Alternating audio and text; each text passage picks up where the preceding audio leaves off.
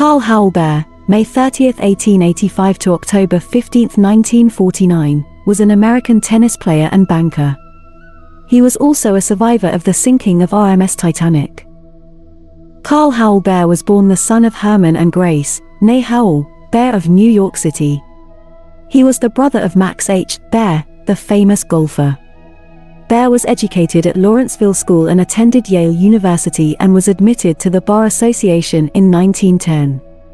While at Yale he also played on the ice hockey team for three years.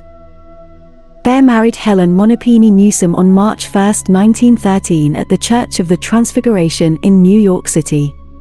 The couple had four children together, Karl H. Behr Jr., 1914-2002, Peter Howell Behr, 1915 to 1997, James Howell Behr, 1920 to 1976, and Sally Howell Behr, later Mrs. Samuel Leonard Pettit, 1928 to 1995. After her husband's death, Helen remarried one of his best friends and former tennis partners, Dean Mathey. Behr gave up a career in law, instead turning to banking. He was vice president of Dillon, Read and Company and sat on the board of the Fisk Rubber Company, the Goodyear Tire and Rubber Company, and the National Cash Register Company.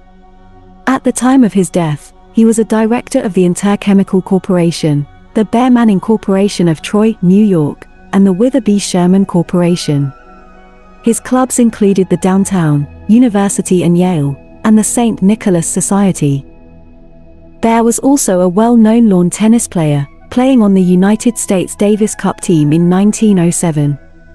Behr, with Beals Wright, was also runner-up in the men's doubles at the 1907 Wimbledon Championships, losing to Norman Brooks and Tony Wilding in three sets, 4-6, 4-6, 2-6. He reached the number 3 US ranking in both 1907 and 1914. Behr continued his tennis career after the sinking of Titanic, and was named to the 1914 US Davis Cup team along with fellow survivor R. Norris Williams. However, Behr, who played on the 1907 US Davis Cup, did not play in the 1914 Davis Cup Challenge round against Australasia at Forest Hills. In 1915 he defeated Maurice McLoughlin, the world's number one ranked player at the time, in straight sets, 8-6, 7-5, 7-5 to win the tournament in Seabright, New Jersey. In 1912, Behr booked first-class passage on board RMS Titanic. His main reason for traveling was due to his pursuit of fellow first-class passenger Helen Newsom, who was a friend of Behr's sister. Behr occupied cabin C-148 during the voyage.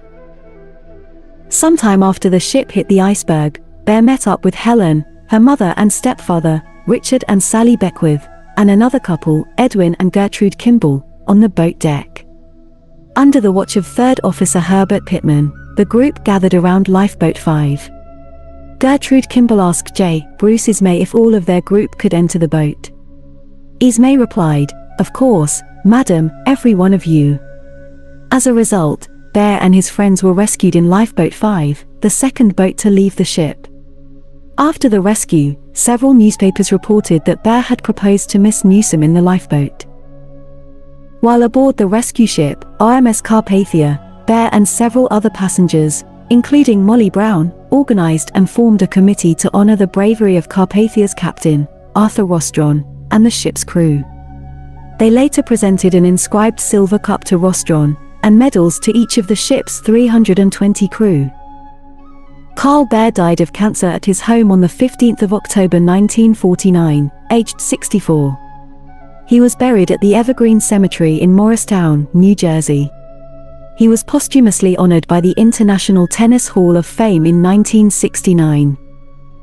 Thank you for listening, and if you would like to hear more biographies, please leave a comment below and perhaps give a thumbs up and subscribe to help my channel. Thank you again for listening.